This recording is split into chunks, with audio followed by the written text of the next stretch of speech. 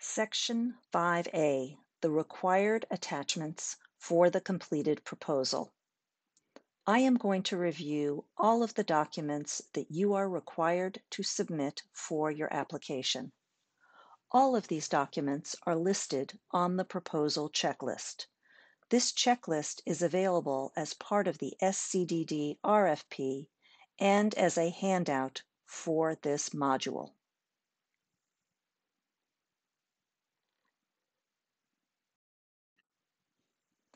There are 12 documents listed on the proposal checklist. 1. The cover letter. 2. The project data sheet. 3. The project narrative. 4. The budget detail worksheet. 5. The continuation of project. 6. The organization chart. 7 the CV resumes or position descriptions, 8. Previous grants or awards, 9. Three letters of support, 10. The proposal checklist, 11. The memorandum of understanding or letter of commitment, 12. Documentation of governing board approval. We will now review each of the forms on the checklist beginning with the cover letter. The first page of your application will have a signed cover letter that has the following information. A one-paragraph description of the project, an assurance that you can financially support the project until invoices and reimbursements are processed, and a statement of agreement to the SCDD terms and conditions, and that you will carry out your project as described in your proposal. This cover letter must be signed by an authorizing official from your organization. The second form is the project data sheet. It is a form that is included with the RFP or on the SCDD website. The form asks for your information, project information, and contact information. This sheet must be signed by the person in your organization who has the legal authority to enter into a contract. Third is the project narrative form. This form is discussed in detail in Module 2. This is a five-part form where you provide the abstract, qualifications of the organization, collaboration, methodology, and the outcomes and evaluation of the project. Fourth is the Budget Detail Worksheet. This is an accessible Excel spreadsheet where you list and calculate all of the project costs. Details for its completion are in Module 4. Fifth is the continuation of the project. Per guidance provided by SCDD, this is an optional section of the proposal for organizations that know that they intend to continue the project after the grant period is over. You should include the source of funds for the continuation of the project.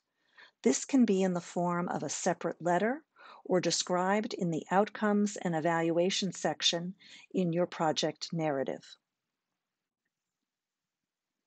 Sixth is the organizational chart for the project only. It should only include the people who are directly working on the project, not for your entire organization. You should be able to look at it and for it to be self-explanatory. It is helpful to organize by reporting lines and function. When an organizational chart works well, the reader can see at a glance the number of senior level staff on a project and the number of people reporting to each senior person. Remember, you need to include the name and position titles of all staff. These are the same people who should have been listed in your budget detail worksheet. Both PowerPoint and Word are useful software tools for creating organizational charts. Seventh are the CVs, resumes, and duty statements. For all of the staff you have listed in your budget detail sheet, you will need to include a curriculum vitae or CV or resume, as well as a description of their duties. Also include a description of any relevant licenses or credentials held. For staff that have not yet been hired, provide a position description.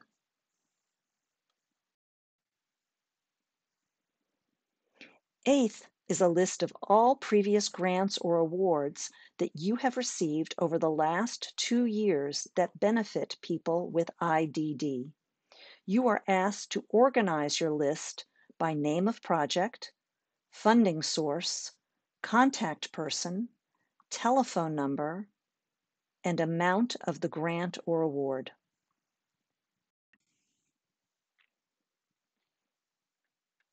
Ninth are your letters of support. A minimum of three letters of support are required from three different entities. They can include any collaborators working on the project. One of the letters must come from someone with recognized expertise related to the project. While letters of support do not win a grant by themselves, they can often make your proposal more competitive. The letters should address familiarity with the proposer and support for the project. Each letter must include the company or individual's name, address, contact person, and phone number. Letters of support should demonstrate broad-based commitment to a project. They should also show that the collaboration is both appropriate and genuine. It is not uncommon to provide a template or sample letter when asking for a letter of support. This way you can make sure that includes all the required pieces of information. If you have a history of working together, ask that they highlight that work, especially if any of the activities were related to serving individuals with IDD. Support letters are typically written with enthusiasm and strong support for the proposed project. Note, letters of support may not be provided by SCDD council members and staff, State Department appointees, or entities who will receive funding from the project. Tenth is the proposal checklist. The proposal checklist contains the list of documents we are reviewing in this module. Together, all of these documents are your completed application. The proposal checklist is a required document in your application package. You are to go through the checklist and check that you have included each of the required documents and forms. This is a great way to double and triple check that your application is complete. The two final documents are not applicable to all who are applying for a grant. The 11th item on the checklist is the Memorandum of Understanding or Letter of Commitment. This is only for those projects that require a formal agreement with another entity in order to carry out the work of their project. This may pertain to the use of funds, use of facilities, or access to a program, school, or other entity. It may also pertain to the coordination between agencies to achieve the aims of the project. The final item, and 12th, is the Governing Board of Approval letter. Some organizations have a governing board that must approve the submission of an application or the acceptance of an award. If that is a requirement of your organization, please provide the proof of such approval with your application package. We have now reviewed all of the required attachments for the application package. This is the last module of our training series, How to Prepare a Grant Proposal to the California State Council on Developmental Disabilities. you should feel free to listen again to the entire series or any of the individual modules.